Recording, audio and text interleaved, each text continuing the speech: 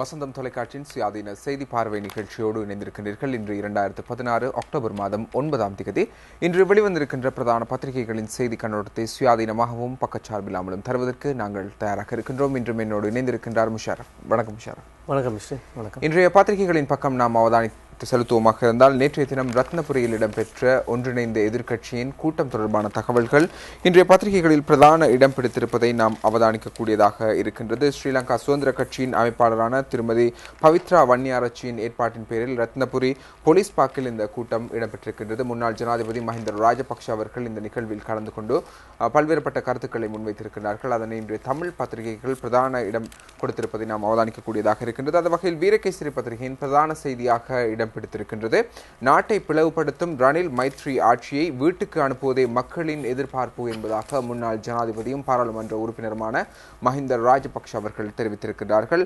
அப்பம் சாப்பிட்டுவிட்டு இரவில் சதி செய்பவன் நான் அல்ல என்பதாக மஹிந்த ராஜபக்ஷ அவர்கள் நேற்றைய தினம் இந்த உரையின் போது தெரிவித்திருக்கின்ற கருத்தாக நாம் அவதானிக்கக்கூடியதாக இருக்கின்றது.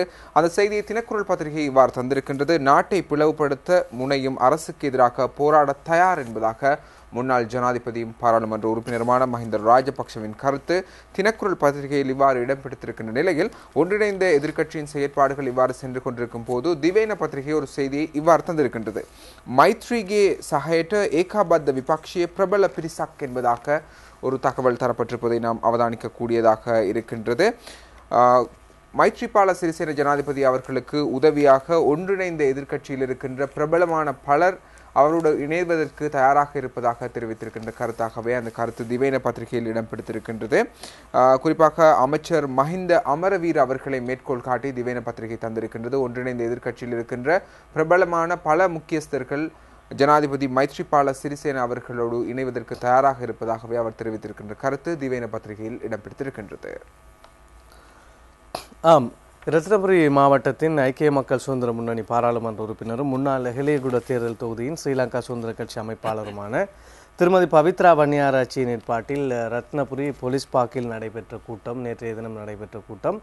பல்வேறு எதிர்பார்ப்புகளுக்கு மத்தியில் நடைபெற்றதாகவே நாம் கருத வேண்டியிருக்கின்றது. ஏனென்றால் இதற்கு முன்னரான தினங்களிலே இந்த நேற்று நடைபெற்ற கூட்டம் குறித்து பல்வேறு ஊகங்கள் தெரிவிக்கப்பட்டு வந்தன. குறிப்பாக முன்னாள் ஜனாதிபதி மஹிந்த ராஜபக்ச அவர்களினுடைய தலைமையிலே ஒரு புதிய கட்சி உருவமா உருவாகும். அந்த கட்சியினுடைய பெயர் சின்னம் என்பன நேற்றைய கூட்டத்தில் அறிவிக்கப்படும் என்பதான கருத்துக்கள். இதற்கு முன்பு பவித்ரா வன்னியாராய்ச்சி உள்ளிட்ட பொது எதிரணியை சார்ந்தவர்கள் முன்னாள் ஜனாதிபதியினுடைய ஆதரவாளர்கள் சிலர் கருத்துக்கள் வெளியிட்டதை நாம் பார்க்கலாம். எனவே புதியதொரு கட்சி உதயமாக போகின்ற ஒரு நாளாக நேற்றைய நாள் இருக்கக்கூடும் என்பதான எதிர்பார்ப்பு இருந்த போதும் கூட நேற்றைய தினம் ஒரு புதிய கட்சி தொடர்பான எந்த ஒரு அறிவித்தலும் விடுக்கப்படவில்லை. மாறாக நேற்றைய தினம் பொது எதிரணியினருடைய ஏற்பாட்டில் கூட்டம் மாத்திரமே நடைபெற்றிருப்பதையும் நாம் இந்த இடத்தில் சு- சுட்டிக்காட்ட வேண்டும். நேற்றைய தினம் நான்கு மணி அளவில் நடைபெற்ற இந்த கூட்டத்திற்கு ஐந்து பதினைந்து மணி அளவிலே முன்னாள் ஜனாதிபதி மஹிந்த ராஜபக்ச அவர்கள் பிரதம அதிதியாக வந்து கலந்து கொண்டிருந்தார். ஆறே கால் அளவிலே அவருடைய உரை அங்கே இடம்பெற்றது. என்னுடைய அவருடைய உரையை கேட்பதற்காகவே பல்வேறு ஆதரவாளர்கள் ஸ்ரீலங்கா சுதந்திர கட்சியை சார்ந்தவர்கள் அங்கே கூடியிருந்ததை பார்க்கக்கூடியதாக இருக்கின்றது. அந்த அடிப்படையில் பார்க்கின்ற போது நேற்றைய கூட்டத்தின் போது பொது எதிரணியை சார்ந்த பாராளுமன்ற உறுப்பினர்கள் இருபத்தி இரண்டு பேர் வரையிலும் கலந்து கொண்டதாக தெரிவிக்கப்படுகின்றது. முன்னாள் ஜனாதிபதி மஹிந்த ராஜபக்சவினுடைய ஆதரவு பாராளுமன்ற உறுப்பினர்களாக இருக்கின்ற தினேஷ் குணவர்தன வாசுதேவ நாணயக்கார விமல் வீரவன்ச உதய கம்மன் பில பவித்ரா வன்னியாராய்ச்சி உள்ளிட்ட பலரும் நேற்றைய தினம் கலந்து கொண்டிருந்தார்கள். வழக்கமாக இந்த கூட்டு எதிரணியினர் பொது எதிரணியினர் ஐம்பது ஐம்பத்தி எட்டு பேருக்கு மேல் இருக்கின்றார்கள் என்பதான கருத்துக்கள் பரவலாக சொல்லப்பட்ட போதும் கூட இதுவரையிலும் கூட்டு எதிரணியினரால் நடாத்தப்படுகின்ற எந்த ஒரு கூட்டத்திலுமே ஐம்பது ஐம்பத்தி எட்டு பேர் மொத்தமாக கலந்து கொண்டதான ஒரு நிகழ்வு இடம்பெறவில்லை என்பதையும் இந்த இடத்தில் நாம் சுட்டிக்காட்ட வேண்டும். ஆனால் இருபத்தி இரண்டு பேர் அளவில் கலந்து கொண்டிருக்கின்றார்கள். அத்தோடு நேற்றைய தினம் பெருந்திரளான மக்கள் அங்கே கூடியிருந்ததையும் இந்த இடத்தில் நாம் ஞாபகப்படுத்திக் கொள்ள விரும்புகின்றோம். எனவே நேற்றைய கூட்டத்தின் போது ஜனாதிபதி முன்னாள் ஜனாதிபதி மஹிந்த ராஜபக்ச அவர்கள் பல்வேறு கருத்துக்களை அங்கே வெளியிட்டிருக்கின்றார். அவரால் வெளியிடப்பட்டிருக்கின்ற கருத்துக்களை நாங்கள் கூர்மையாக அவதானித்த போதும் கூட புதிதான ஒரு விடயம் அங்கே சொல்லப்பட்டிருக்கிறதா என்றால் நிச்சயமாக அவ்வாறான புதிய விடயங்கள் சொல்லப்பட்டதாகவும் கூட எம்மால் அவதானிக்க முடியாமல் இருப்பதையும் நாம் இங்கே சுட்டிக்காட்ட விரும்புகின்றோம். அப்பம் சாப்பிட்டு விட்டு ஏமாற்றுகின்றவன் நான் அல்ல என்கின்ற கருத்து கடந்த ஜனாதிபதி தேர்தல் காலத்திலும் பொது தேர்தல் காலத்திலும் மக்கள் கேட்டு கேட்டு புளித்து போன ஒரு விடயம் என்பதையும் இந்த இடத்தில் நாம் சுட்டிக்காட்ட விரும்புகின்றோம். நாட்டை பிளவுபடுத்தும் ரணில் மைத்ரி ஆட்சியை வீட்டுக்கு அனுப்புவதே மக்களின் எதிர்பார்ப்பு என்கின்ற ஒரு கருத்தை அவர் சொ- சொல்லியிருக்கின்றார். இந்த நாட்டை பிளவுபடுத்தி துண்டாடும் விதமாக ரணில் மைத்ரி கூட்டணியிலே புதிய அரசியல் யாப்பு உருவாக்கப்படுகின்றது. எனவே இந்த நாட்டை பிளவுபடுத்தும் முயற்சியில் இருக்கின்ற இந்த அரசாங்கத்தை நிச்சயமாக நாம் மாற்ற வேண்டும். இந்த மாற்றத்தை நாங்கள் நினைத்தால் செய்துவிட முடியாது. எங்களோடு நீங்களும் இணைந்து கொள்கின்ற போதுதான் அந்த மாற்றத்தை உருவாக்க முடியும். எனவே மக்கள் அனைவரும் எங்களோடு இணைந்து ஆதரவு தந்து இந்த நாட்டை பிளவுபடுத்தாமல் காப்பாற்ற வேண்டும் என்பதான ஒரு கருத்தை அவர் முன்வைத்திருக்கின்றார். இந்த புதிய அரசியல் யாப்பினூடாக நாடு எவ்வாறு துண்டாடப்பட போகிறது என்பதுதான் மிக முக்கியமான ஒரு கேள்வி.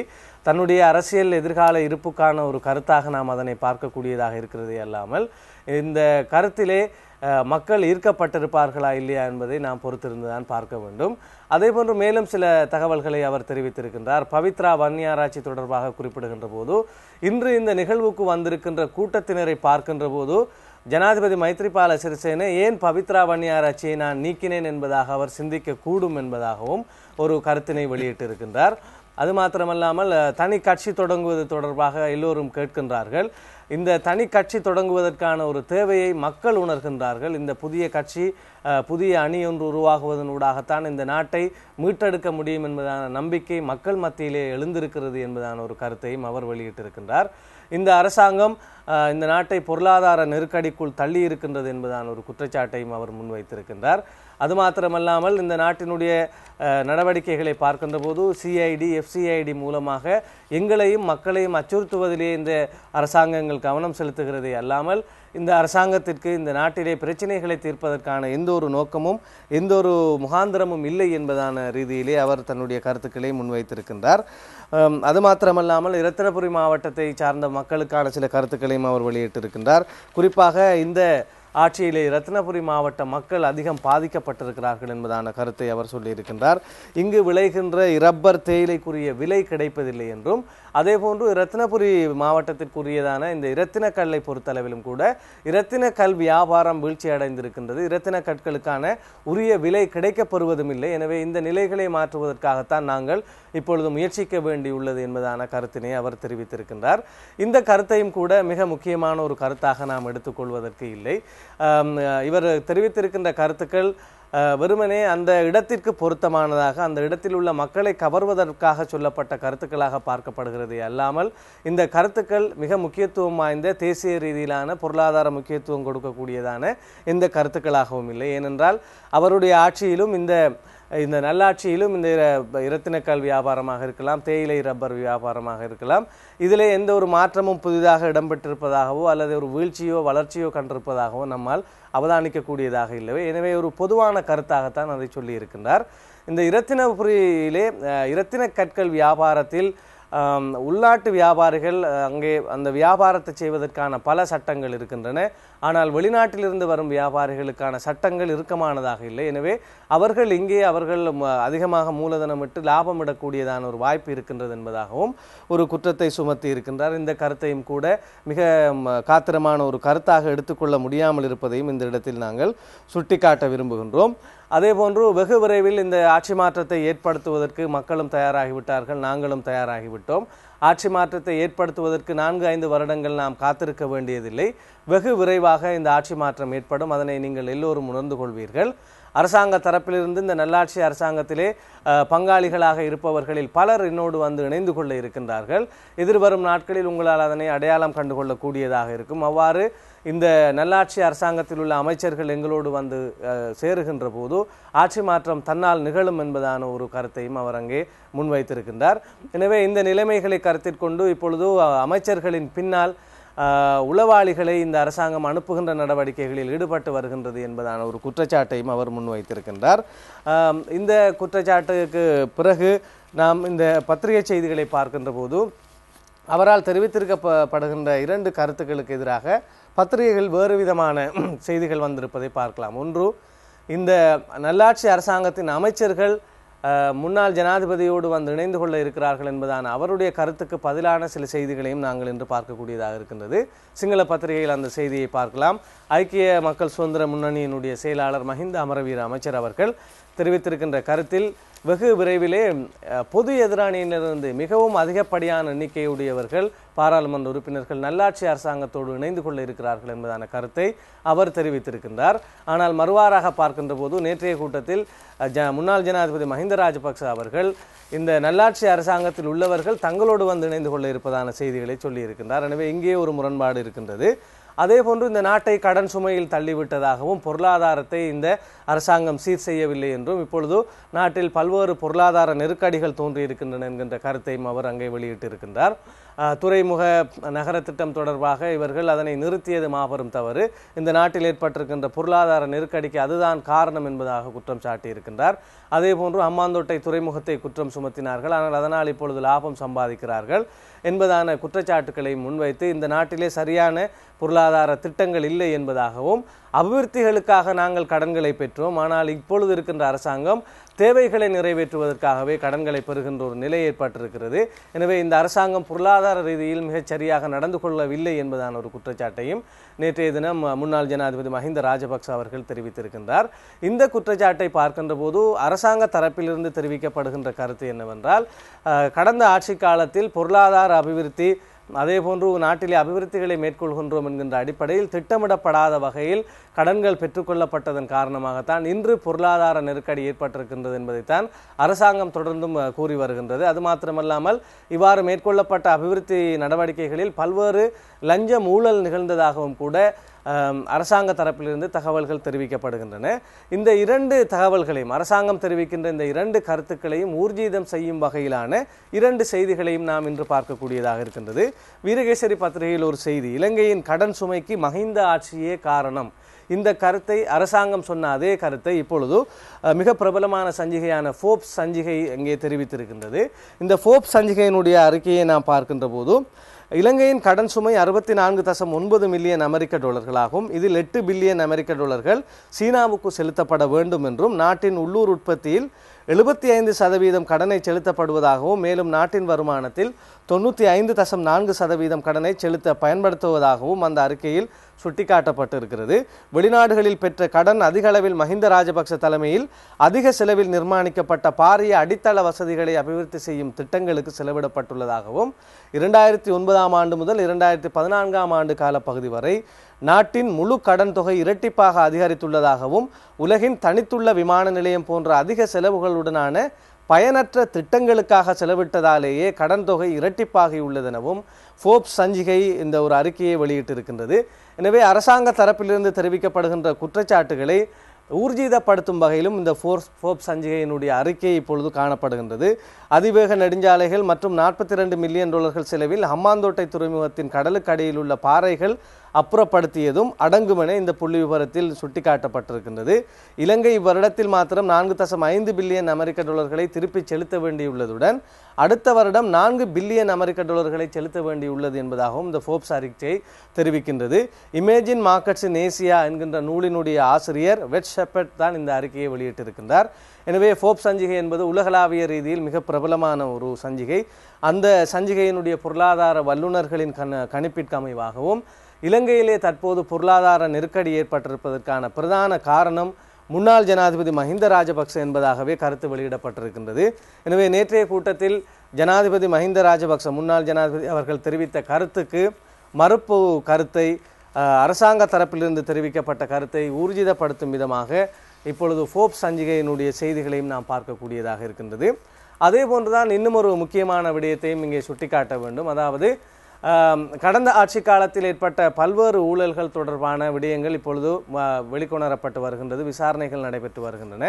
அந்த அடிப்படையில் இந்த கொமன்வெல்த் கேம் என்கின்ற ஒரு குழுவை அமைத்து அடுத்து வருகின்ற இரண்டாயிரத்தி பதினேழாம் ஆண்டு கொமன்வெல்த் போட்டியை இலங்கைக்கு நடத்துவது தொடர்பான முயற்சியை கடந்த ஆட்சியாளர்கள் மேற்கொண்டிருந்தார்கள். கிட்டத்தட்ட நூற்றி இருபத்தி ஐந்து பேருக்கு மேற்பட்ட குழுவினரை இது தொடர்பாக பேசி இதற்கான ஆதரவை திரட்டுவதற்காக அனுப்பி வைத்திருந்தது இலங்கை அரசாங்கம். ஆனால் கடைசியிலே அது ஆஸ்திரேலியாவிற்கு தான் அந்த வாய்ப்பு சென்றதும் நாம் எல்லோருக்கும் ஞாபகத்தில் இருக்கும். அன்றைய காலகட்டத்தில் வீணான செலவினை இந்த அரசாங்கம் செய்திருக்கின்றது என்கின்ற அடிப்படையிலான குற்றச்சாட்டுக்களை இந்த அரசாங்கத்தின் முன் வைத்திருப்பதை நாம் பார்க்கக்கூடியதாக இருக்கின்றது. அந்த அடிப்படையில் நாம் பார்க்கின்ற போதும் அது தொடர்பான ஒரு கருத்து இன்றைய பத்திரிகைகளில் வெளிவந்திருக்கின்றது. அதாவது அறுநூற்றி எண்பது மில்லியன் இருநூற்றி நாற்பத்தி ஆறு ரூபாவானது விசாரணை ஆரம்பம் என்பதான ஒரு செய்தியை நாம் தினக்குரல் பத்திரிகையில் பார்க்கக்கூடியதாக இருக்கின்றது. இந்த கொமன்வெல்த் கேம் என்கின்ற அந்த குழுவிற்கு அறுநூற்றி எண்பது மில்லியன் ரூபாய் அந்த கணக்கிலே வைக்கப்பட்டது. எப்படியேனும் இருநூ இந்த கொமன்வெல்த் விளையாட்டை இந்த இல இலங்கையிலே நடத்துவது இரண்டாயிரத்தி பதினாலு என்பதற்கான சம்மதத்தை பெறுவதற்கான முழு முயற்சியை அரசாங்கம் எடுத்திருந்தது. இலங்கைக்கு கிடைக்கப் போகின்ற ஒரு கௌரவமாக அதை எண்ணித்தான் முன்னாள் ஆட்சியாளர்கள் அதனை செய்திருந்தார்கள். அந்த அடிப்படையில் அந்த கௌரவத்தை பெற்றுக்கொள்வதற்காக பல்வேறு விடயங்களை இந்த அரசாங்கம் முன்னெடுத்தது. அந்த குழுவினுடைய இணைத்தலைவர்களாக தலைவர்களாக அப்போது மத்திய வங்கி ஆளுநராக பணியாற்றிய அஜித் நிவாட் கப்ரால் மற்றும் அப்போதைய விளையாட்டுத்துறை அமைச்சர் மஹிந்தானந்த அலுத்கமகே ஆகியோர் செயற்பட்டிருந்தார்கள். அது மாத்திரமல்லாமல் அந்த குழுவினுடைய உறுப்பினராக நாமல் ராஜபக்ச அவர்களும் அங்கம் வகித்திருந்தார். இதிலே அரச நிதியிலிருந்து நூற்றி பதினெட்டு மில்லியன் ரூபா அதே போன்று நன்கொடையாக நூற்றி எழுபத்தி எட்டு மில்லியன் ரூபாவும் கிடைத்திருந்தது. இவ்வாறு பெருமளவு தொகையை அந்த வங்கியிலே அவர்கள் வைப்பு செய்திருந்த போதும் கூட இலங்கை வங்கி கிளையில் தான் அது வைப்பு செய்யப்பட்டிருப்பதாக தெரிவிக்கப்படுகின்றது. தற்போது அந்த கணக்கை நாம் பரிசோதித்து பார்க்கின்ற போது வெறும் இருநூற்றி நாற்பத்தி ஆறு ரூபாய் தான் அந்த கணக்கில் இருப்பதாகவும் எனவே இந்த பணத்திற்கு என்னானது என்பதான விசாரணைகளும் இப்பொழுது முன்னெடுக்கப்பட்டு வருகின்றது. எனவே கடந்த ஆட்சி காலத்தின் போது மேற்கொள்ளப்பட்டதான ஊழல் தொடர்பான செய்திகளும் விசாரணைகளும் தொடர்ந்த வண்ணமே இருக்கின்ற போது முன்னாள் ஜனாதிபதி அவர்களினுடைய கருத்து இங்கு வலுவற்ற கருத்தாக மாறிப்போவதையும் நாம் இங்கே பார்க்கக்கூடியதாக இருக்கின்றது. ஆனால் அவர் சொல்லியிருக்கின்ற விடயங்களில் ஒரு சில கருத்துக்களை நாம் இங்கே சுட்டிக்காட்ட விரும்புகின்றோம். குறிப்பாக நடைபெற இருக்கின்ற சாக் மாநாடு இப்பொழுது ரத்து செய்யப்பட்டிருக்கின்ற பாகிஸ்தானில் நடைபெற இருந்த சாக் மாநாடு தொடர்பான முரண்பாடு எழுந்தது. இலங்கைக்கும் இந்தியாவிற்கும் எல்லைப்புறத்தில் காஷ்மீர் பகுதியில் ஏற்பட்ட பிரச்சினைகளை அடுத்து இந்தியா இந்த சாக் மாநாட்டில் கலந்து கொள்ளவில் கொள்வதில்லை என்பதான கருத்தை வெளியிட்டிருந்தது. இந்தியா கலந்து கொள்ளாத போது ஒரு நாடு ஒரு மாநாட்டை புறக்கணிக்கின்ற போது பெரும்பாலும் அந்த மாநாடு நடப்பதற்கான சாத்தியப்பாடுகள் இல்லை. உடனடியாக பங்களாதேஷ் நேபாளம் போன்ற நாடுகளும் கூட தாங்களும் கலந்து கொள்வதில்லை என்பதாக கருத்து தெரிவித்திருந்தார்கள். இப்படியான சூழ்நிலையில் எப்படியுமே அந்த மாநாடு நடத்தப்பட மாட்டாது என்பதான ஊகங்கள் தெரிவிக்கப்பட்ட நிலையில்தான் இலங்கை அரசாங்கமும் கூட தாங்களும் அதில் கலந்து கொள்வதில்லை என்பதாக அறிவித்திருந்தது. எனவே முன்னாள் ஜனாதிபதி மஹிந்த ராஜபக்ச அவர்கள் கருத்து வெளியிடுகின்ற போதும் இலங்கை அரசாங்கம் பகல் மூன்று மணிக்கு இந்த கருத்தை வெளியிட்டிருக்கின்றது அறிக்கையை விட்டிருந்தது. ஆறு மணி அளவில் பாகிஸ்தான் தாங்கள் சாக் மாநாட்டை ஒத்திவைக்கின்றோம் என்பதான ஒரு கருத்தினையும் அறிக்கையையும் வெளியிட்டிருந்தார்கள். எனவே எப்படியும் இந்தியா பங்களாதேஷ் நேபாளம் போன்ற நாடுகள் சாக் மாநாட்டில் கலந்து கொள்வதில்லை என்று அறிவித்ததன் பிற்பாடு எப்படியும் அந்த மாநாடு நடக்கப் போவதில்லை என்பது தெரிந்திருந்தும் கூட மூன்று மணி அளவிலே நாங்கள் இதில் கலந்து கொள்ளப் போவதில்லை என்பதாக இலங்கை அரசாங்கம் தெரிவித்தமையானது. பாகிஸ்தானுடனான உறவை வெளியுறவை வந்து பாதிக்கும் விதமான ஒரு விடயம் என்பதான ஒரு கருத்தை அங்கே சுட்டிக்காட்டி இருக்கின்றார் இது மிக முக்கியமான ஒரு கருத்து. சுயாதீன செய்தி பார்வையில் கூட எங்களாலும் முன்வைக்கப்பட்ட ஒரு கருத்து தான் அது ஏனென்றால் இந்த ராஜதந்திர கொள்கை என்ற அடிப்படையில் பார்க்கின்ற போது பாகிஸ்தானும் யுத்த காலத்திலே இலங்கைக்கு நிகரான உதவிகளை செய்த ஒரு நாடு. ஆனால் பாகிஸ்தானிலிருந்து இந்த உறவை பாகிஸ்தானுக்கும் இலங்கைக்குமான ராஜதந்திர உறவுகளை பாதிக்கும் விதமாக இந்த குறிப்பிட்ட மூன்று மணித்தியாலத்திற்குள் இந்த இலங்கை அரசாங்கம் அறிவித்தமையானது சரியான ராஜதந்திரமான ஒரு அறிக்கையாக இருக்காது என்பதான அவருடைய குற்றச்சாட்டுகளை நாம் இங்கே சுட்டிக்காட்ட விரும்புகின்றோம். இதே நேரத்தில் ஏனைய விடயங்கள் அனைத்துமே கவனிக்கக்கூடிய விடயமாகவோ அல்லது அர்த்தங்கள் பொதிந்த விடயமாகவோ நேற்றைய தினம் இருக்கவில்லை என்பதையும் இந்த இடத்தில் சுட்டிக்காட்டலாம். இதே நேரத்தில் நாங்கள் இன்றைய பத்திரிகைகளை பார்க்கின்ற போது புதிய கட்சி தொடர்பாக பொது எதிரணியினரால் ஒரு வேண்டுகோள் விடுக்கப்பட்டது. இந்த கட்சியினுடைய பெயர் சின்னம் தொடர்பில் நீங்கள் மக்கள் உங்களுடைய கருத்துக்களை தெரிவிக்க முடியும் என்பதான ஒரு வேண்டுகோள் விடுக்கப்பட்டது. இந்த வேண்டுகோளை ஏற்று பல ஆயிரக்கணக்கான கிட்டத்தட்ட பதினோராயிரத்தி அறுநூறுக்கும் மேற்பட்ட பரிந்துரைகள் செய்யப்பட்டிருப்பதாகவும் இன்றைய பத்திரிகை செய்திகள் தெரிவிக்கின்றன. அந்த அடிப்படையில் பார்க்கின்ற போது நான்காயிரத்தி அறுநூத்தி இருபத்தி ரெண்டு மின்னஞ்சல் ஊடாக இந்த புதிய கட்சிக்கான பெயர் அதனுடைய தலைமை அதனுடைய சின்னம் என்பவற்றை பொதுமக்கள் தெரிவித்திருப்பதாகவும் ஏழாயிரம் கடிதங்கள் மூலமாகவும் சில கருத்துக்களை தெரிவித்திருப்பதாகவும் இன்றைய பத்திரிகை செய்திகள் தெரிவிக்கின்றன. இதே நேரத்தில் முன்னாள் பாதுகாப்பு செயலாளர் கோட்டாபாய ராஜபக்ச அவர்களை தொடர்படுத்தியும் பல்வேறு செய்திகள் வந்திருக்கின்றன. கோட்டாபாய ராஜபக்ச அவர்கள் தெரிவித்திருக்கின்றார் ஒரு ஜனாதிபதி ஆவதற்கான எல்லா தகுதியும் என்னிடம் இருக்கின்றது என்பதான ஒரு கருத்தை முன்வைத்திருக்கின்றார். அரசியலில் ஈடுபட வேண்டும் என்பதான எண்ணம் எனக்கு இல்லை. ஆனால் நாட்டுக்காக தொடர்ந்தும் எந்த விதமான ஒரு சேவையை மாற்றுவதற்கு நான் தயாராக இருக்கின்றேன். அடுத்து வருகின்ற ஜனாதிபதி தேர்தலில் முன்னாள் ஜனாதிபதி போட்டியிட முடியாத நிலை இப்பொழுது உருவாகி இருக்கின்றது. அரசியல் யாப்பு திருத்தத்தினூடாக எனவே என்னை போட்டியிடுமாறு பணிப்பார்களாக இருந்தால் நிச்சயமாக நான் போட்டியிட தயாராக இருக்கின்றேன். ஆனால் முன்னாள் ஜனாதிபதியினுடைய ஆத- ஆச- ஆதரவுடனும் ஆசீர்வாதத்துடனுமே நான் போட்டியிடுவேன். அவ்வாறு அவருடைய ஆதரவும் ஆசீர்வாதமும் கிடைக்காது போனால் நான் நிச்சயமாக போட்டியிட மாட்டேன் என்பதாக அவர் ஒரு கருத்தை வெளியிட்டிருக்கின்றார். அது தொடர்பான ஒரு செய்திகளையும் பார்க்கக்கூடியதாக இருக்கின்றது. புதிய கட்சி தொடர்பாக இப்பொழுது பல்வேறு ஊகங்கள் தெரிவிக்கப்படுகின்றன. அந்த அடிப்படையில் பார்க்கின்ற போது முன்னாள் ஜனாதிபதி தலைவராக இருக்க போகிறாரா? அல்லது முன்னாள் பொருளாதார அபிவிருத்தி அமைச்சர் பசில் ராஜபக்சவினுடைய தலைமையிலே இந்த கட்சி உதயமாக போகிறதா என்கின்ற கருத்துக்கள் வந்த வண்ணம் இருந்தன. அந்த அடிப்படையில் இப்பொழுது கோட்டாபய ராஜபக்ச அவர்களும் அடுத்து இந்த ஒரு அரசியல் கட்சியை உருவாக்குவதிலோ அல்லது உரு- இந்த உருவாக போகின்ற கட்சியில் முக்கியமான ஒருவராக இருக்க போகிறார் என்பதையும் நாம் ஊகிக்கக்கூடியதாக இருக்கின்றது. எது எப்படி இருந்த போதும் கூட நேற்றைய தின கூட்டம் ஒரு வகையான வழக்கமாக நடந்த கூட்டத்தை போன்றதான ஒரு கவனத்தை எடுக்க இருக்கும் ஒரு கூட்டமாக இருந்தது அல்லாமல் அர்த்த புஷ்டியான ஒரு கூட்டமாக இருக்குமா என்பது மிக முக்கியமான கேள்வியாகவே இருக்கின்றது. இதே நேரத்தில் நாட்டில் இதுவரையில் உள்ளூராட்சி மன்ற தேர்தல்கள் நடைபெறாமல் பிற்போடப்படுவதற்கும் இவ்வாறான கூட்டங்களில் அதிகளவான மக்கள் தொகை அதிகமாக இருப்பதற்கும் ஏதோ ஒரு தொடர்பு இருப்பது போலவும் எமக்கு தோணுகிறது. அதைத் தொடர்ந்து நாம் தினக்குரல் பத்திரிகையின் பக்கம் அவதானத்தை செலுத்துவோமாக இருந்தால் நாவட்குழி மதகடியில் வாழ்வெட்டு குடும்பஸ்தர் அந்த இடத்திலேயே பலி என்பதாக தலைப்பிட்ட ஒரு செய்தி தரப்பட்டிருக்கின்றது. நேற்று இரவு கொடூர சம்பவம் என்பதாக உப தலைப்பிடப்பட்டிருக்கின்றது நாவட்குழி பகுதியின் ஏ நைன் வீதியில் நேற்று சனிக்கிழமை இரவு இடம்பெற்ற வாழ்வெட்டு சம்பவம் ஒன்றில் ஒருவர் கொல்லப்பட்டிருக்கின்றார் என்பதாகவே அந்த தகவல் பதிவாக இருக்கின்றது. நாவட்குழி யாழ் வரவேற்பு வளைவுக்கு அருகில் மதகடியில் வைத்தே இந்த வாழ்வெட்டு சம்பவம் இடம்பெற்றிருக்கின்றது. குற்றீராக இருந்த இவரை வைத்தியசாலைக்கு போலீசார் கொண்டு சென்ற நிலையில் இவர் உயிரிழந்திருப்பதாக தெரிய வருகின்றது. நாற்பத்தி இரண்டு வயதுடைய ஒருவரை இவ்வாறு உயிரிழந்திருக்கின்றார் என்பதாக இந்த தகவல் பதிவாக இருக்கின்றது. இது தொடர்பான மேலதிக விசாரணைகளை போலீசார் முன்னெடுத்து வருகின்றனர்.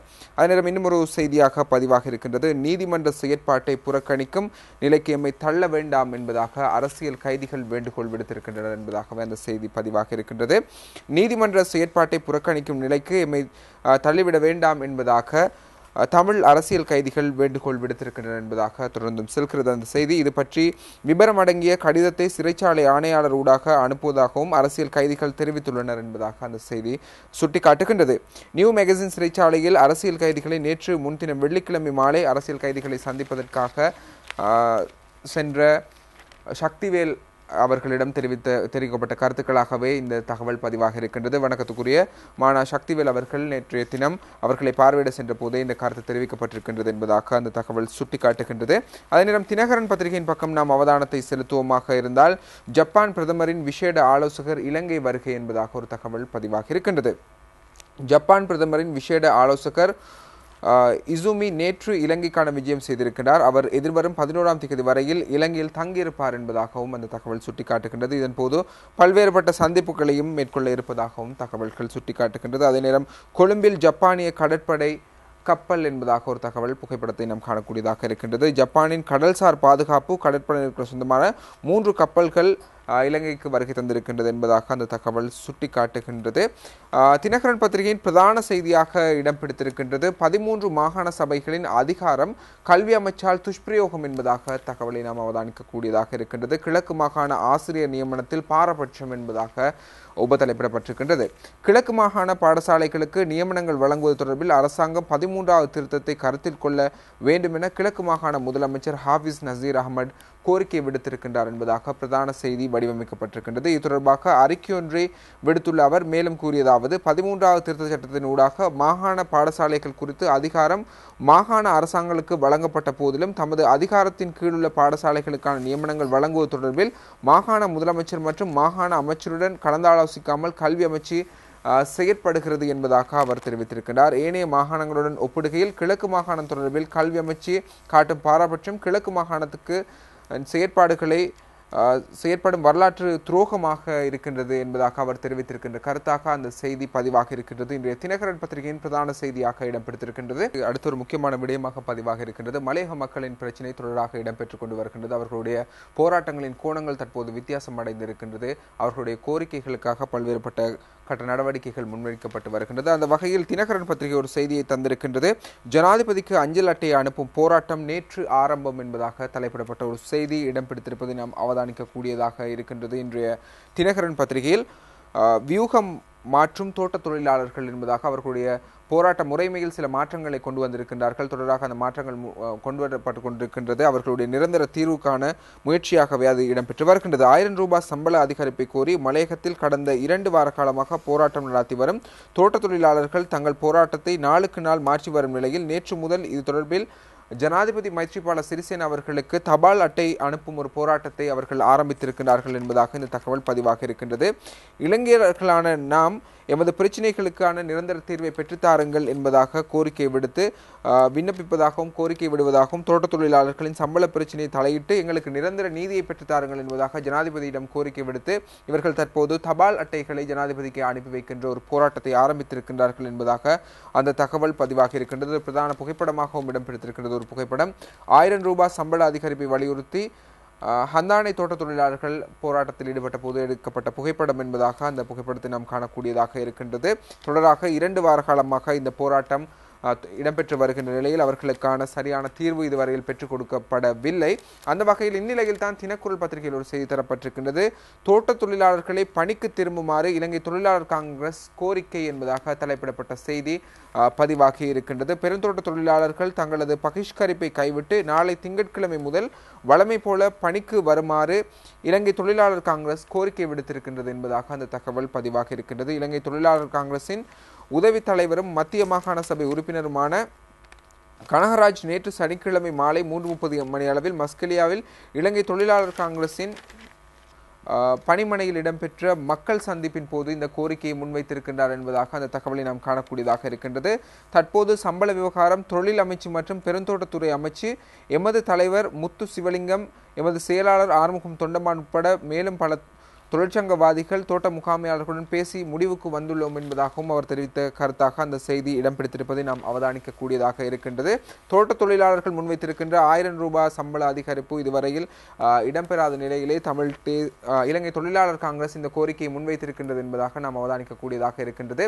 எழுநூற்றி முப்பது ரூபாய் அதிகரிக்க அதற்கான செயற்பாடுகள் முன்னெடுக்கப்பட்டு வந்த போதிலும் கூட தொழிலாளர்கள் இந்த விடயத்தை ஏற்றுக்கொள்ளவில்லை என்பதாக நாம் ஏற்கனவே நேற்று நேற்று முன்தின செய்திகளில் நாம் அவதானிக்கக்கூடியதாக இருந்தது.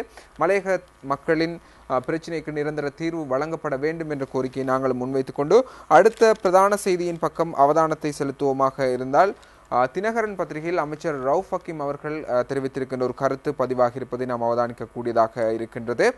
உத்தேச புதிய தேர்தல் முறைமையின் நிறைய சந்தேகங்கள் என்பதாக அமைச்சர் ரவுஃப் ஹக்கீம் அவர்கள் தெரிவித்திருக்கின்ற கருத்தாக அந்த செய்தி இடம் பிடித்திருக்கின்றது அந்த செய்தியை இன்று தினக்குரல் பத்திரிகையின் பிரதான செய்தியாக இடம் பிடித்திருப்பதை நாம் அவதானிக்கக்கூடியதாக இருக்கின்றது. உத்தேச தேர்தல் முறையில் சந்தேகங்கள் பல உள்ளன என்பதாக அமைச்சர் ரவுஃப் ஹக்கீம் அவர்கள் தெரிவித்திருக்கின்ற கருத்து பதிவாக இருக்கின்றது. சிறுபான்மையினரின் பிரதிநிதித்துவத்தை வெகுவாக குறைப்பதற்கு திட்டம் ஹக்கீம் எச்சரிக்கை என்பதாக உபதலைப்பிடப்பட்டிருக்கின்றது. இன்னுமொரு செய்தியாக வீரகேசரி பத்திரிகையில் நாம் அவதானிக்கக்கூடியதாக இருக்கின்றது. புதிய அரசியலமைப்பில் சகலருக்கும் பாதுகாப்பு என்பதாக ஒரு செய்தி இடம் பிடித்திருக்கின்றது அமைச்சர் லக்ஷ்மண் கிரியல்ல திட்டவட்டம் என்பது அறிமுகமாகிறது. மாம் ஜிஞ்சர் ஷார்ட்டீஸ் நூறு ரூபாய் மட்டுமே. அதே செய்தியை வீரகேசரி பத்திரிகையில் தரப்பட்டிருக்கின்றது. உசே உத்தேச தேர்தல் முறையில் சிறுபான்மையினருக்கு சந்தேகம் என்ற கருத்தை அமைச்சர் ரவுஃபக்கிம் அவர்கள் நேற்றைய தினம் முன்வைத்த அந்த கருத்து வீரகேசரி பத்திரிகையிலும் தரப்பட்டிருப்பதை நாம் அவதானிக்கக்கூடியதாக இருக்கின்றது. நேற்றைய தினத்தில் நடைபெற்ற இரண்டு நிகழ்வுகள் தொடர்பாகவே நாம் இந்த செய்தியை பார்க்க வேண்டியிருக்கின்றது. ஒன்று இலங்கை முஸ்லிம் மாணவர்கள் சங்கத்தின் விருது வழங்கல் விழா. நேற்று சனிக்கிழமை விளையாட்டு அமைச்சின் கேட்போர் கூடத்தில் நடைபெற்றது. இங்கு கலந்து கொண்டு உரையாற்றிய அமைச்சர் அமைச்சர் லக்ஷ்மண் கிரியல் அவர்கள் பல்வேறு கருத்துக்களை வெளியிட்டிருக்கின்றார். அந்த அடிப்படையில் இலங்கை ஒரு பல் கலாசாரம் உள்ள ஒரு நாடாக இருக்கின்றது. இந்த பல் கலாசாரம் உள்ள ஒரு நாட்டிலே சிங்களவர் தமிழர் முஸ்லிம்கள் அனைவரும் ஒன்றிணைந்து செயற்பட வேண்டியிருக்கின்றது. நாட்டிலே இன ரீதியான ஒரு ஒற்றுமை ஏற்பட்டதன் பிற்பாடுதான் இந்த நாட்டை நாம் வளப்படுத்த முடியும் என்பதான ஒரு கருத்தை தெரிவித்திருக்கின்றார். அந்த அடிப்படையில் தான் தற்போதைய ஆட்சி இந்த நாட்டிலே ஒரு தீர்க்கமான ஒரு தீர்வினை பெற்று அனைத்து இனங்களும் ஒற்றுமைப்பட்டு வாழ்வதற்கான ஒரு சூழ்நிலையை உருவாக்கி இருக்கின்றது. அந்த அடிப்படையில் தற்போது ஜனாதிபதியாக இருப்பவர் ஸ்ரீலங்கா சுதந்திர கட்சியை சார்ந்தவர் பிரதமர் ஐக்கிய தேசிய கட்சியை சார்ந்தவர்கள். பொது பொது தேர்தலுக்கு முன்பே அவர்களுக்கு இடையிலான ஒரு ஒப்பந்தமாக இருந்தது என்னவென்றால் பொது தேர்தலின் பின்னர் யார் தனித்துவமாக ஆட்சி அமைக்கக்கூடியதான ஒரு சூழல் உருவானாலும் கூட இந்த நாட்டில் உள்ள பொருளாதார தேசிய பிரச்சனைகளை தீர்ப்பதற்காக ஒரு தேசிய அரசாங்கத்தையே அமைக்க வேண்டும் என்பதான ஒரு முடிவினை எட்டியிருந்தார்கள். அந்த முடிவிற்கு அமைவாகத்தான் இப்பொழுது தேசிய அரசாங்கம் நடைபெற்று கொண்டிருக்கின்றது. இந்த தேசிய அரசாங்கத்திலே ஜனாதிபதியும் பிரதமரும் அனைத்து இனங்களையும் அரவணைத்து பல்வேறு நடவடிக்கைகளின் மூலமாக இந்த நாட்டில் நிரந்தரமான ஒரு சமாதானத்தை உருவாக்கி மக்களுக்கிடையிலே ஒரு இணக்கப்பாட்டை உருவாக்கி பொருளாதார ரீதியாக இந்த நாட்டை முன்னேற்றுவதற்கான நடவடிக்கைகளில் ஈடுபட்டு வருகின்றது. ஆயிரத்தி தொள்ளாயிரத்தி நாற்பத்தி ஐந்தில் சுதந்திரம் அடைந்த இலங்கையை பார்த்து ஏனைய நாடுகள் ஆச்சரியப்பட்டன. அபிவிருத்தியை அடைந்து வருகின்ற நாடுகளில் மிகவும் முதன்மையான ஒரு இடத்தில் இலங்கை அன்றைய காலகட்டத்தில் காணப்பட்டது. எனவே அதனையொட்டி இலங்கை மீதாக பல்வேறு நாடுகளுக்கும் ஒரு ஈர்ப்பு இருந்தது. குறிப்பாக சிங்கப்பூர் கூட இலங்கையாக நாங்கள் மாற வேண்டும் என்பதாக கனவு கண்ட ஒரு காலம் இருந்தது. ஆனால் சிங்கப்பூர் மலேசியா போன்ற நாடுகளுக்குள் பல்வேறு இனமுறுகள் ஏற்பட்டது. பல்மைத்துவமான கலாச்சாரமும் மொழிகளும் இனங்களும் வாழ்கின்ற நாடுகளாகத்தான் அந்த சிங்கப்பூர் மலேசியா போன்ற நாடுகளும் காணப்பட்டன. இருந்தபோதும் கூட அவர்கள் அவர்களுக்குள் உருவான இந்த இனப்பிரச்சனைகளையும் ஏனைய பிரச்சனைகளையும் தீர்த்து அந்த அரசியல் தலைவர்கள் அந்த நாட்டினை பொருளாதார ரீதியாக ஒரு வளர்ச்சி பாதையில் கொண்டு செல்வதற்கு அதிக பிரயத்தனங்களை மேற்கொண்டு இன்று உலகிலேயே மிகவும் முன்னேற்றகரமான நாடாக சிங்கப்பூர் காணப்படுகின்றது. அதே போன்று மலேசியாவும் காணப்படுகின்றது என்கின்ற ஒரு கருத்தை நேற்று லக்ஷ்மண் கிரியல் அவர்கள் தெரிவித்திருக்கின்றார். இதே போன்றுதான் இலங்கையில் அந்த சூழ்நிலை உருவாக வேண்டுமாக இருந்தால் மக்களுக்கிடையிலே நாட்டு பற்று ஒன்று உருவாக வேண்டும். அனைவருக்கிடையிலும் ஒரு ஒற்றுமை உருவாகி பொருளாதார ரீதியாக இந்த நாட்டினை கட்டியெழுப்புவதற்கான நடவடிக்கைகளை மேற்கொள்ள வேண்டும். அதற்கான விடயமாகத்தான் புதிய அரசியல் யாப்பு உருவாக்கப்படுகின்றது. இந்த புதிய அரசியல் யாப்பினை உருவாக்குகின்ற குழுவிற்கு பிரதானமாக தலைமை வகிக்கின்ற பிரதமர் ரணில் விக்ரமசிங்கே அவர்கள் எப்போதுமே அனைத்து இனங்களையும் அரவணைத்து செல்ல வேண்டும் என்கின்ற கொள்கை உடையவர் அந்த அடிப்படையில் இப்பொழுது புதிய அரசியல் யாப்பினூடாக தேசிய இனப்பிரச்சினைகளுக்கான தீர்வுகள் அங்கே உள்ளடக்கப்படுகின்றன என்பதான கருத்தொன்றினை முன்வைத்திருக்கின்றார். அது மாத்திரமல்லாமல் மேலும் சில கருத்துக்களை அவர் வெளியிட்டிருக்கின்றார். அதில் குறிப்பாக பார்க்கின்ற போது இலங்கையில் வாழ்கின்ற முஸ்லிம்களுக்கு பல்வேறு பிரச்சனைகள் தொடர்ந்தும் இருந்திருக்கின்றன. ஆரம்பகால வரலாற்றை எடுத்து பார்த்தால் கூட டச்சுக்காரர்கள் அங்கே இலங்கையை கைப்பற்றியவுடன் முஸ்லிம்களை கிழக்கிலிருந்து விரட்டி அடித்தமையையும் அவர் ஞாபகப்படுத்தி இருக்கின்றார் அதன் பின்னர் முஸ்லிம்கள் பல்வேறு போராட்டங்களை நடாத்தியதன் பிற்பாடுதான் கிழக்கிற்கு முஸ்லிம்கள் மீண்டும் குடியமர்த்தப்பட்டார்கள். இவ்வாறு கண்டி ராசதானி காலத்திலும் கூட முஸ்லிம்களுக்கு எதிராக பல்வேறு நடவடிக்கைகள் மேற்கொள்ளப்பட்டன. இருந்தாலும் அவைகளும் முறியடிக்கப்பட்டு இந்த நாட்டிலே முஸ்லிம்களுக்கான இருப்பு அங்கே சாத்தியமாக்கப்பட்டது. இதே போன்றுதான் பல்வேறு பிரச்சனைகள் இருக்கின்றன. இந்த பிரச்சனைகளை தீர்த்து கொள்ள வேண்டுமாக இருந்தால் நாம் அரசியல் யாப்பிலே எல்லோருடைய எல்லா இனங்களையும் மதிக்கின்ற ஒரு நிலையை உருவாக்க வேண்டும். அதற்கு இந்த புதிய அரசியல் யாப்பு வழிவகுக்கும். எனவே இந்த புதிய அரசியல் யாப்பை உருவாக்கி அதன் மூலமாக நாட்டை பலப்படுத்துவதற்கு எல்லோரும் ஒன்றுபட வேண்டும் என்கின்ற ரீதியில் அவர் கருத்துக்களை வெளியிட்டிருக்கின்றார். இதே நேரத்தில் மற்றொரு நிகழ்வு நேற்றைய தினம் தபால் திணைக்கள தலைமையக கேட்போர் கூடத்தில் நடைபெற்றிருக்கின்றது. ஸ்ரீலங்கா முஸ்லீம் காங்கிரசினால் ஏற்பாடு செய்யப்பட்ட ஒரு கூட்டம். அதாவது புதிதாக உருவாக்கப்படுகின்ற அரசியல் யாப்பு அதே போன்று இந்த அரசியல் யாப்பிலே உள்வாங்கப்பட இருக்கின்ற தேர்தல் முறை மாற்றம் தொடர்பிலான சந்தேகங்களை நீர்த்து இந்த சந்தேகங்களுக்கு பதிலாக புதிய முன்மொழிவுகளை செய்வதற்கான ஒரு கூட்டமாகத்தான் அது நடைபெற்றது. ஸ்ரீலங்கா முஸ்லிம் காங்கிரஸ் இதற்கு முன்னரும் இரண்டு தடவைகள் இவ்வாறான கூட்டங்களை நடத்திருக்கின்றன அந்த அடிப்படையில் தான் நேற்றைய தினம் மூன்றாவது கூட்டம் ஒன்று நடைபெற்றிருக்கிறது. இந்த கூட்டத்திலும் கூட அமைச்சர் மனோ கணேசன் உள்ளிட்ட முக்கியமான அரசியல் தலைவர்களும் கலந்து கொண்டிருக்கின்றார்கள். இந்த கூட்டத்தில் உரையாற்றிய ஸ்ரீலங்கா முஸ்லீம் காங்கிரசினுடைய தலைவரும் அமைச்சருமான ரோஃப் ஹக்கீம் அவர்கள் பல்வேறு கருத்துக்களை வெளியிட்டிருக்கின்றார். அந்த அடிப்படையில் பார்க்கின்ற போது புதிய அரசியல் யாப்பு வரவேற்கக்கூடிய ஒரு விடயம் தேசிய இன பிரச்சினைக்கான தீர்வுகளை இந்த யாப்பு கொண்டிருக்கும் என்பதை நாம் இங்கே நம்பிக்கையோடு தெரிவிக்க விரும்புகின்றோம். ஆனால் இந்த புதிய தேர்தல் முறை மாற்றம் தொடர்பிலான பல்வேறு சந்தேகங்கள் இருக்கின்றன. அந்த சந்தேகங்களை நிவர்த்திக்க வேண்டியதான ஒரு தேவைப்பாடு இருக்கின்றது. இந்த விடயங்கள் தொடர்பான ஒரு தெளிவுபடுத்தலை மக்களுக்கும் ஏனையோருக்கும் கொடுப்பதற்காகத்தான் நாங்கள் இத்தகைய கூட்டங்களை நடத்துகின்றோம். அதுதான் இந்த கூட்டத்தினுடைய நோக்கம் என்பதையும் அவர் தெரிவித்திருந்தார். முஸ்லீம் காங்கிரஸ் கட்சியை பொறுத்தளவிலே முஸ்லீம் காங்கிரஸ் கட்சி ஒரு விகிதாசார தேர்தல் முறையிலே வெட்டுப்புள்ளி பனிரெண்டு சதவீதமாக இருந்த வெட்டுப்புள்ளியை ஐந்து சதவீதமாக மாற்றிய பெருமை முஸ்லீம் காங்கிரஸிற்கு காங்கிரசிற்கு இருக்கின்றது. முன்னாள் ஸ்தாபக தலைவர் எம்எச்எம் அஷ்ரஃப் அவர்கள் இந்த விடயத்தை செய்திருந்தார். இன்றளவிலும் கூட பெருமையோடு பேசக்கூடிய ஒரு விடயமாக அந்த விடயம் காணப்படுகின்றது. ஆனால் முஸ்லிம் காங்கிரஸ் அதே போன்று பல விடயங்களை செய்திருக்கின்றன. ஆனாலும் இந்த விடயம்தான் இன்று வரையிலும் பேசப்படுகிறது என்பதான ஒரு கருத்தை அமைச்சர் ரவுஃப் ஹக்கீம் அவர்கள் தெரிவித்திருக்கின்றார். அன்றைய காலகட்டத்தில் வடகிழக்கு இணைந்த வடகிழக்கு தேர்தலை நாம் சந்திக்க நேர்ந்தது. நான்கு ஆசனங்களை பெறக்கூடியதான வாய்ப்பு எங்களுக்கு இருந்தாலும் மூன்று ஆசனங்களை நாங்கள் இழந்திருந்தோம் அம்பாறை மாவட்டத்தில். அது ஒரு து- துரதிர்ஷ்டமான ஒரு நிகழ்வு என்பதையும் பதிவு செய்திருக்கின்றார். இப்பொழுது பாராளுமன்றத்தை பார்க்கின்ற போது விகிதாசார தேர்தல் முறைமையினூடாக இந்த பாராளுமன்றத்திலே பெரும்பாலும் முஸ்லீம் கட்சியை சார்ந்த முஸ்லீம் மக்களை பிரதிநிதித்துவப்படுத்துகின்ற இருபத்தி ஒரு உறுப்பினர்கள் காணப்படுகின்றார்கள். அதே போன்று மலையத்தை சார்ந்தவர்கள் ஏனைய தமிழ் அரசியல் தலைவர்கள் என்று பார்க்கின்ற போது ஏறத்தாழ ஐம்பது சிறுபான்மை பாராளுமன்ற உறுப்பினர்கள் இப்பொழுது பாராளுமன்றத்தில் இருக்கின்றார்கள். எனவே விகிதாசார தேர்தல் முறை என்பது எங்களுக்கு ஓரளவு எங்களுடைய அரசியல் பிரதிநிதித்துவப்படுத்த பிரதிநிதித்துவத்தை ஸ்திரப்படுத்துவதற்கான ஒரு முறைமையாகத்தான் இருந்து வந்திருக்கின்றது. புதிய அரசியல் யாப்பினூடாக புதிய தேர்தல் முறை மாற்றத்தை கொண்டு வருகின்ற போது எங்களுக்கு ஏற்கனவே இருக்கின்ற இந்த சௌகரியங்கள் இல்லாது போகக்கூடாது என்பது மிக முக்கியமான ஒரு விடயம். ஆனால் இந்த புதிய தேர்தல் முறை தொடர்பாக தெரிவிக்கப்படுகின்ற கருத்துக்களில் சந்தேகங்கள் எழுகின்றன. எங்களுடைய அரசியல் இருப்பு கேள்விக்குள்ளாக்கப்படுமா என்பதான அச்சம் தோன்றுவதாக தெரிவித்திருக்கின்றார். அதாவது கலப்பு முறை என்று வருகின்ற போது விகிதாசார முறை தே அதே போன்று த- தொகுதிவாரி முறைமைகள் இரண்டும் சேர்ந்ததான ஒரு முறை தான் உருவாக்கப்பட இருக்கின்றது. அந்த அடிப்படையில் அண்மையிலே உள்ளூராட்சி மன்ற தேர்தல் தொடர்பாகவும் அதே போன்று அடுத்து வர இருக்கின்ற தேர்தல் முறை தொடர்பாகவும் மாகாண சபைகள் உள்ளூராட்சி அமைச்சர் பைசர் ஃபைசர் முஸ்தபா அவர்கள் கருத்து வெளியிடுகின்ற போதும் எழுபதுக்கு முப்பது என்கின்ற அடிப்படையில் தான் ஒரு தீர்வினை முன்வைத்திருக்கின்றார். அதாவது தொகுதி வாரியாக தெரிவு செய்யப்படுபவர்கள் எழுபது வீதமாகவும் விகிதாசார முறைமையில் முப்பது வீதமானவர்கள் தெரிவு செய்யப்படுவதாக தெரிவிக்கப்படுகின்றது. எனவே இது மிகவும் ஆபத்தான ஒரு விடயமாகத்தான் நாங்கள் நோக்குகின்றோம். குறிப்பாக வடகிழக்கிலே அதாவது பெரும்பான்மையாக சிறுபான்மை மக்கள் வாழ்கின்ற பகுதிகளை தவிர்த்து ஏனைய பகுதிகளில் நாங்கள் பார்க்கின்ற போது வடகிழக்குக்கு வெளியிலே வாழ்கின்ற சிறுபான்மை மக்களுக்கான அரசியல் பிரதிநிதித்துவத்தை தெரிவு செய்வது என்பதில் பாரிய சிக்கல்கள் ஏற்படும் என்றும் தெரிவித்திருக்கின்றார். இதற்கு முன்பு இதே போன்று அறுபதுக்கு நாற்பது என்கின்ற அடிப்படையில் தான் இந்த தொகுதிவாரி விகிதாசார முறைமைகள் உருவாக்கப்படும் என்பதாக முன்னாள் அமைச்சர் தெரிவித்திருந்தார் உள்ளூராட்சி மன்றங்கள் அமைச்சர். ஆனால் தற்போது இவ்வாறு அல்லாமல் எழுபதுக்கு முப்பது என்கின்ற அடிப்படையில் தெரிவிக்கப்படுவதை நான் இங்கே சுட்டிக்காட்ட விரும்புகின்றேன் என்று அவர் தெரிவித்திருக்கின்றார். உள்ளூராட்சி மன்ற தேர்தல்கள் தற்போது தாமதமாவது கூட ஒரு வகைக்கு நல்லது என்பதாகவும் ஒரு கருத்தை வெளியிட்டிருக்கின்றார். அது மாத்திரமல்லாமல் இலங்கையில் நடைபெறுகின்ற ஜனாதிபதி தேர்தல் பாராளுமன்ற தேர்தல் உள்ளூராட்சி மன்ற தேர்தல் இவை யாவும் ஒவ்வொன்றும் ஒவ்வொரு முறைமைகளில் நடத்தப்படுவது மக்கள் மத்தியிலேயே குழப்பத்தை ஏற்படுத்தும். அவ்வாறல்லாமல் மூன்றும் ஒரு பொதுவான தேர்தல் முறைமையினூடாக நடத்தப்படுவதே பொருத்தமானதாக இருக்கும் என்கின்ற கருத்தையும் அமைச்சர் ரவுஃப் ஹக்கீம் அவர்கள் தெரிவித்திருக்கின்றார். அதே போன்று வர இருக்கின்ற இந்த புதிய அரசியல் யாப்பில் ஏற்படுகின்ற தேர்தல் முறை மாற்றத்தினூடாக பாராளுமன்ற உறுப்பினர்களினுடைய எண்ணிக்கையை இருநூற்றி இருபத்தைந்திலிருந்து இருநூற்றி நாற்பதாக உயர்த்துவதான ஒரு கருத்து வெளியிடப்படுகின்றது.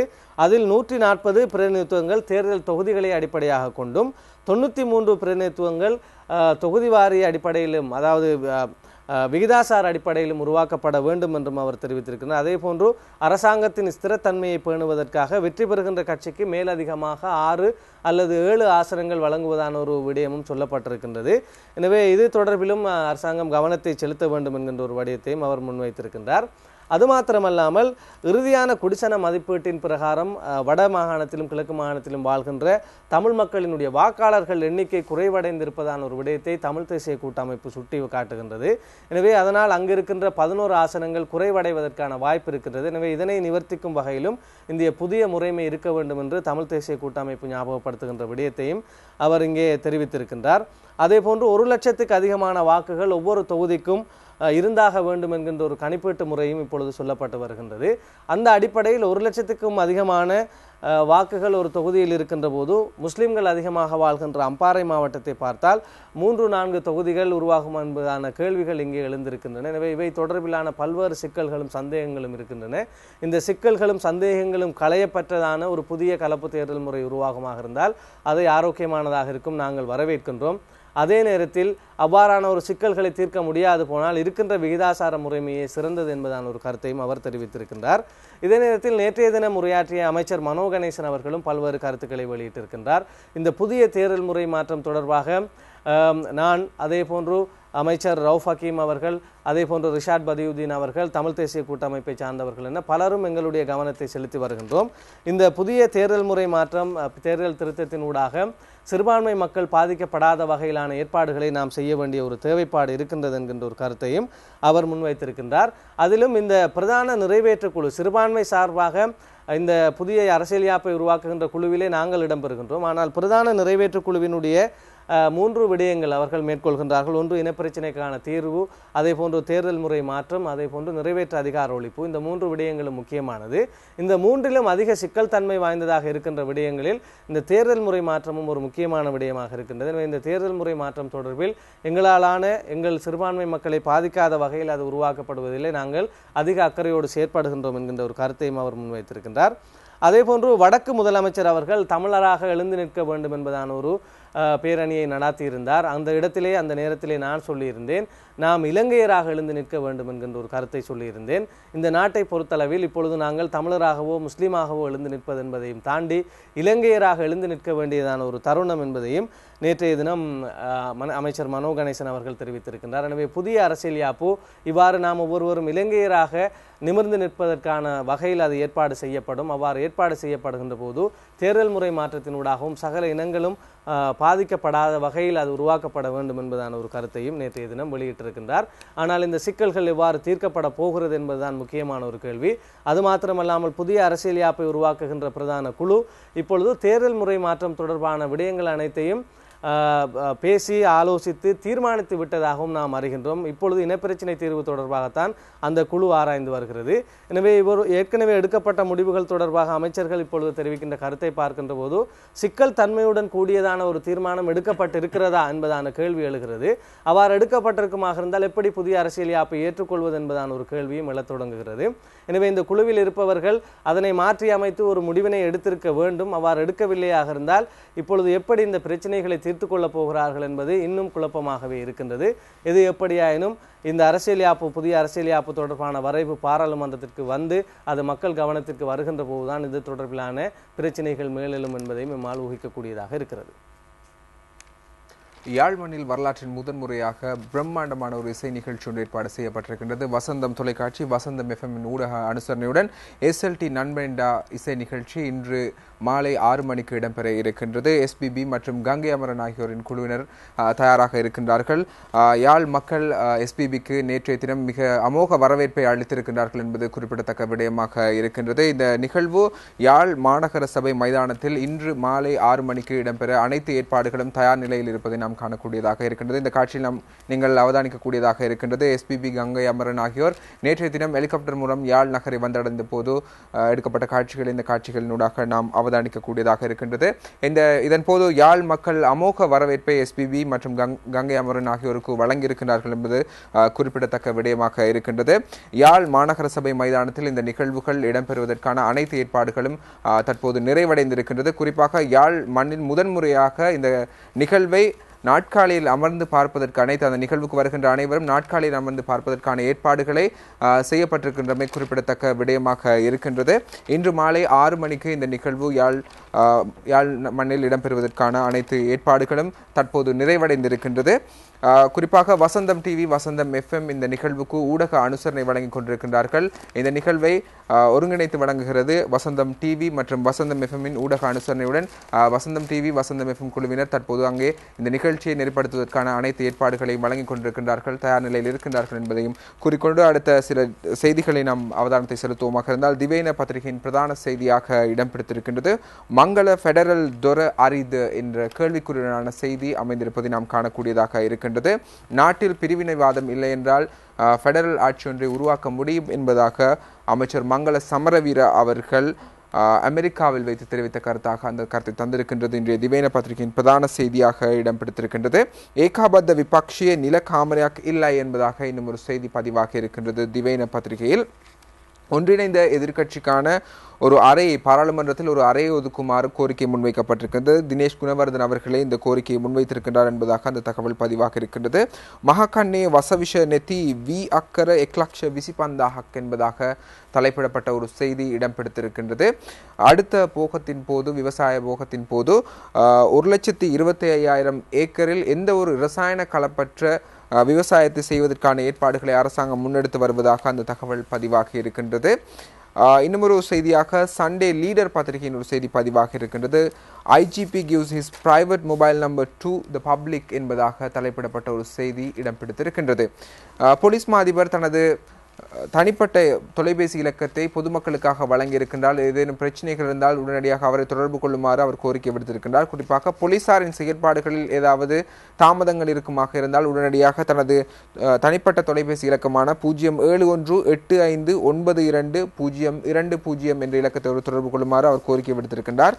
இன்னொரு முறை நாங்கள் அந்த இலக்கத்தை ஞாபகப்படுத்துகின்றோம். பூஜ்ஜியம் ஏழு ஒன்று எட்டு ஐந்து ஒன்பது இரண்டு பூஜ்ஜியம் இரண்டு பூஜ்ஜியம் என்ற இலக்கத்துடன் போலீஸ் மா அதிபரை தொடர்பு கொள்ளுமாறு கோரிக்கை விடுக்கப்பட்டிருப்பதை நாம் அவதானிக்கக்கூடியதாக இருக்கின்றது. இன்றைய சண்டே லீடர் பத்திரிகையின் செய்தியாக அந்த செய்தி இடம் பிடித்திருக்கின்றது அதே நேரம் இன்னும் ஒரு செய்தியாக மௌபிம பத்திரிகையின் பக்கம் நாம் அவதானத்தை செலுத்துவோமாக இருந்தால் ஸ்ரீலங்கா நிதாஸ் பக்ஷே லேகாம் தூரிய வெனசாக் அத் லாங்காய் என்பதாக ஒரு தகவல் பதிவாகி இருக்கின்றது. ஸ்ரீலங்கா சுதந்திர கட்சியின் செயலாளர் பதவியில் சில மாற்றங்கள் விரைவில் வருவதற்கான சாத்தியப்பாடுகள் இருக்கின்றது என்பதாகவே அந்த செய்தி இடம் பிடித்திருப்பதை நாம் அவதானிக்கக்கூடியதாக இருக்கின்றது.